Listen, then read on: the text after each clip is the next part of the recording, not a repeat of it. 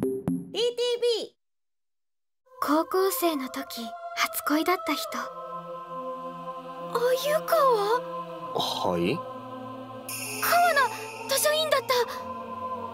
再会した彼は車椅子に乗っていた。脊髄損傷。それで歩けなくなった。あなたは障害のある恋ができますか？もっと鮎川のこと教えてほしい。俺誰とも恋愛する気ないから。私何も分かってない。私は樹くんが好き。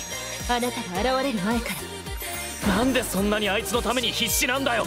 いつ死ぬかもわからないのに今やらなきゃダメなんだこの人は今までどれほど悔しい思いをしてきたんだろう。お前にしてやれることがあまりにも少なくて辛くなる俺は歩きたい死ぬほど。たとえ今が描いた未来と違っていても私は今彼に再び恋をしてる。パーフェクトワールド